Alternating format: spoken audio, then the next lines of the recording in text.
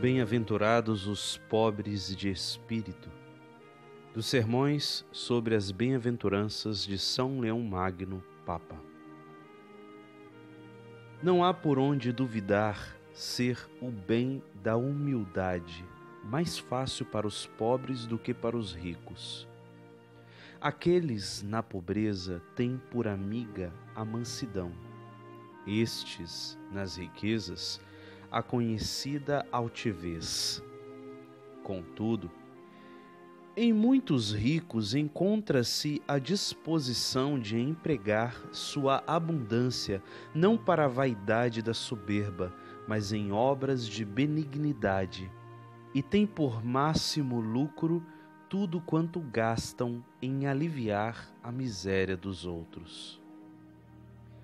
A todo gênero e classe de pessoas é dado ser parte nesta virtude, porque podem ser iguais na intenção e desiguais no lucro.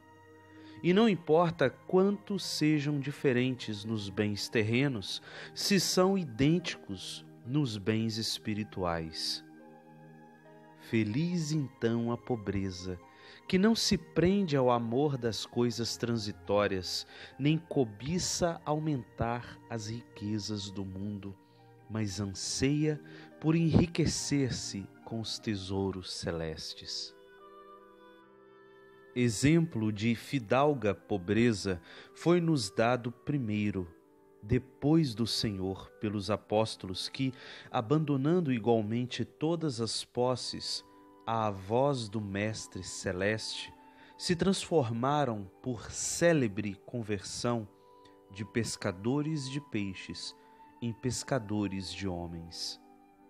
Muitos outros, semelhantes a eles à imitação de sua fé, fizeram o mesmo quando nos filhos da igreja primitiva era um só o coração de todos e uma só a alma dos que criam.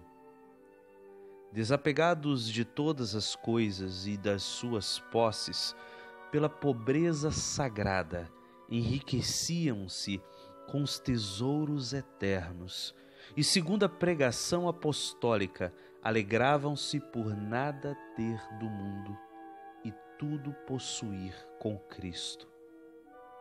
O santo apóstolo Pedro, subindo ao templo, respondeu ao entrevado que lhe pedia esmola: Prata e ouro não possuo, mas o que tenho te dou.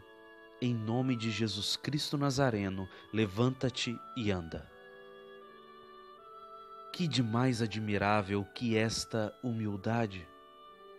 Que mais rico que esta pobreza? Não tem o socorro do dinheiro, mas tem os dons essenciais.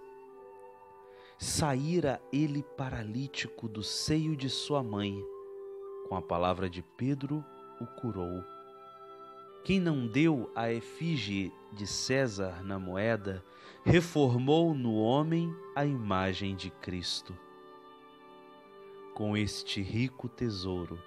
Não foi socorrido aquele que recuperou o andar, mas ainda as cinco mil pessoas que naquele momento creram na exortação do apóstolo por causa do milagre da cura. E o pobre que não tinha para dar ao mendigo, distribuiu com tanta largueza a graça divina da mesma forma como restabeleceu em seus pés a um só homem, curou os corações de tantos milhares de fiéis e tornou ágeis em Cristo aqueles que encontrara claudicantes.